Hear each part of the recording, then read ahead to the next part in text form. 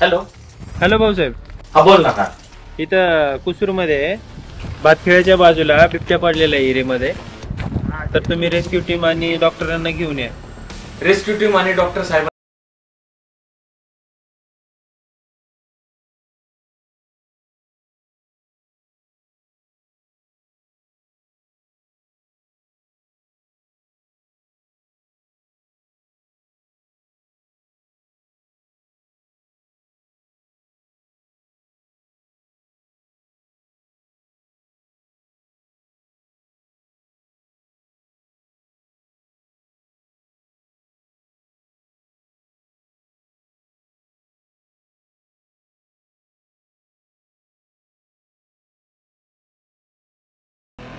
One विभागाचं नाव घेतलं की आपल्यासमोर येते ती वृक्ष लागवड वृक्ष संवर्धन आणि वनराईच्या हितासाठी झटणारी संस्था.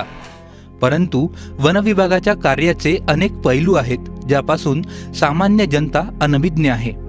त्यापैकी एक म्हणजे वन्य प्राणी बचाव कार्य. वनविभागाचे कर्तव्य तत्पर कर्मचारी सदैव सजग जागरूक राहून पडेल तिथे कधी जोखीम घेऊन तर कधी जीवावर उदार होऊन विविधरित्या वन्यप्राणी बचाव कार्य करत असतात. यामागे उद्देश एकच अन्न साखळी अबाधित ठेवण्यासाठी निसर्गाचा समतोल राखण्यासाठी ही जनावरं अत्यंत महत्वाची आहेत आणि त्यांचं रक्षण सुद्धा मानवा एवढंच महत्वाचं आहे. महाराष्ट्र राज्याचे वनमंत्री माननीय सुधीर मुनगंटीवार यांच्या मार्गदर्शनात वनविभाग एक पाऊल पुढे जाऊन प्राणी बचाव कार्यात नागरिकांचा सहभाग आणि त्याबद्दलचे समाज प्रबोधन सुद्धा करत असतो. याकरता विविध आयाम वापरले जातात.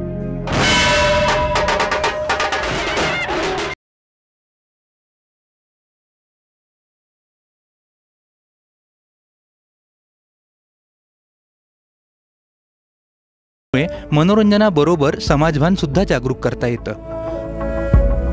सोबतच गावकऱ्यांमध्ये असलेली वन्य प्राण्यांविषयीची भीती दूर करायला आणि जर कधी एखादा वन्य प्राणी समोर आलाच तर घ्यावयाच्या काळजीसाठी वनविभाग दिवसरात्र गस्त घालत गावकऱ्यांना सतर्क करत असतं.